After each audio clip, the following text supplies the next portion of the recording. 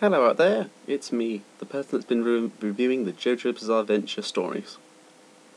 Why have I become on camera? Well, well, I don't want to show my face, first of all. I don't really, yeah, I just don't want to show my face in general. I was going to do an Ashen kind of thing, but uh, don't think I can pull it off. But I'm on camera because there is actually one more JoJo's Bizarre Adventure story to be told. What is this story? JoJo's Bizarre Adventure Another Day, Part 4 The Book. That's right, there's actually a book. Hirohiko Araki came up with this book.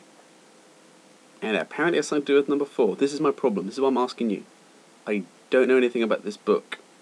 Yes, I know I'm holding the book. Problem is, it's in Japanese.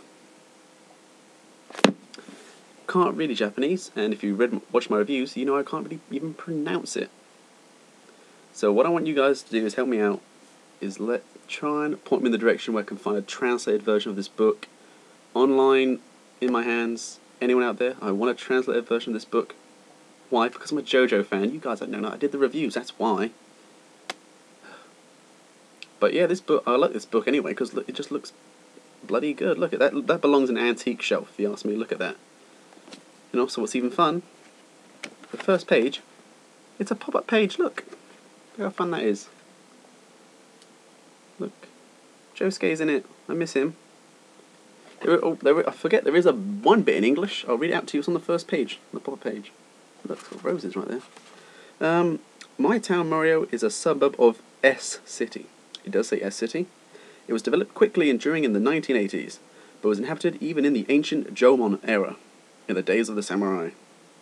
There were many vacation homes and martial arts training grounds here, this is the city's symbol. The city's flower is Amu Adons. I don't think I pronounced that right at all. And our local specialty is Misosaki ox tongue. So yep, I take that as the town that's the town symbol of Morioh. But yes, some out there, you must have a translated version of this book. I don't really know what the plot of it is. I think it might have something to do. I think it might be a few stories, but I do know Josuke's in it because look, at least, you know, that's, there's a picture of him right there, and it looks really badass. So, yep, I think Josuke's in this book, but also I think there was a rumour sung about Nigma, the stand user, the stand and the stand user, how they could put things into paper, and he got turned to a book at the end of that story arc of his. So it might be something to do with him.